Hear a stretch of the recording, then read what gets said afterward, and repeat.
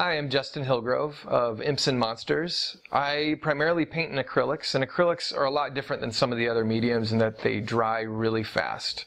And that can be really frustrating uh, to keep a workable palette. So today I'm going to show you how I uh, keep my palette usable over long periods of time.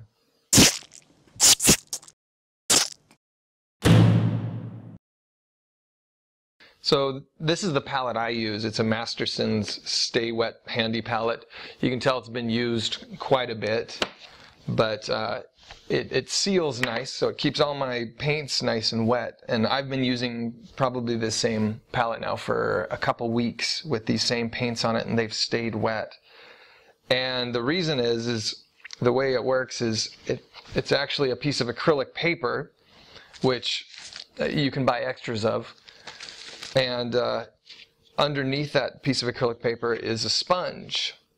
And in order to get it to work, you boil the acrylic paper, or you put it, or you can put it in the microwave for a few minutes in a bowl of water, and you set that on top of the wet sponge, and it, the, the moisture travels through the acrylic paper and just keeps all those acrylics nice and wet.